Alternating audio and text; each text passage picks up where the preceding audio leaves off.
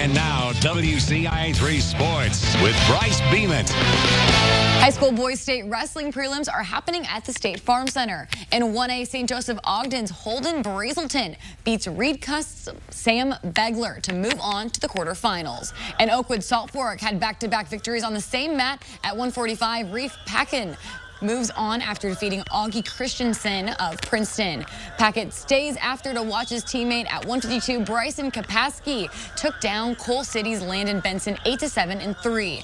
Over on mat 6, Hoopeston area as Angel Zamora at 160 pins Coal City's jo Jack Pointer. Zamora moves on to the quarterfinals. And at 170, Unity's Caius Root gets the dub over Seneca's Colin Wright. And over a mat over Rockets, Nick Nosler ends the match early, beating Clifton's Joseph Maxwell. He'll face against Taylorville's William Blue in the quarterfinals. Blue went into triple overtime to get the win over Genoa's Julian Torres.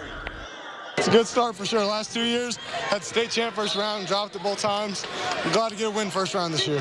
I just got to keep treating it like any other match. Just go out there, wrestle my match, and uh, I don't know. I mean, it's cool, but got a lot more work to do for sure. Not the biggest kid, but I mean, my technique's there. That's all that matters. I want to work on a bigger kid and get the dub. And in 2A state wrestling, Glenwood's Drew Davis at 113, a former state champion, ends the match early against St. Patrick's Calvin Stahl with a 17-2 win.